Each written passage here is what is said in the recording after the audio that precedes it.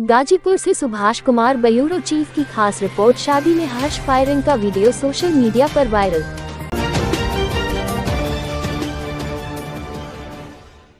भामवकौल थाना क्षेत्र खबर गाजीपुर से है, जहाँ शादी में हर्ष फायरिंग का वीडियो सोशल मीडिया पर वायरल हो रहा है।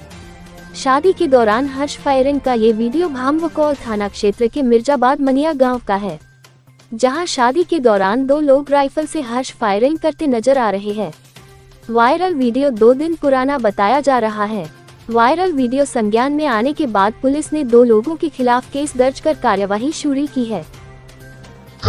सर भावरकोल थाना क्षेत्र में एक हर्ष फायरिंग हुई जिसमें मुकदमा भी दर्ज हुआ। किस तरह का मामला था? क्या आप पुलिस के संज्ञान में आया था परसों की एक वीडियो वायरल हो रहा है जिसमें कुछ व्यक्ति एक राइफल से हर्ष फायरिंग कर रहे हैं।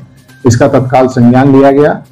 तो ये संज्ञानित हुआ कि इसमें किसी की बहन की शादी थी उसमें वो हर्ष फायरिंग कर रहे थे।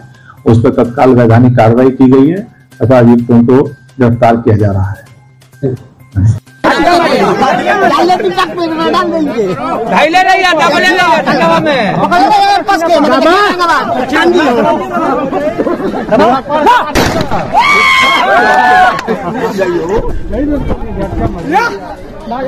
नहीं